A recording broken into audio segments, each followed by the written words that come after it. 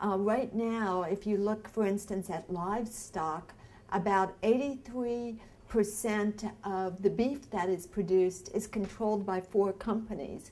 If you're looking at pork, the top four companies control um, 63%. And if you look at grocery stores here in the United States, four companies control 50% of the food that's bought and sold, with Walmart being the largest. So there's a lot of control from genetics all the way to the grocery store. And that means that farmers don't get a fair price, consumers don't get good food or pay fair prices for healthy food.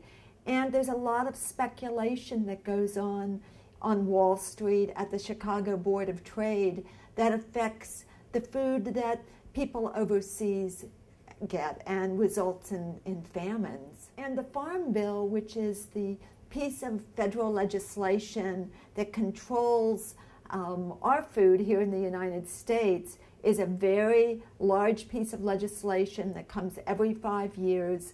And it's resulted in uh, a lot of poor policies that benefit big agribusiness companies like Cargill, ConAgra, and it also benefits the junk food producers uh, like Kraft Nestle, any of the big companies that need to use sugar, oil, or the other commodities.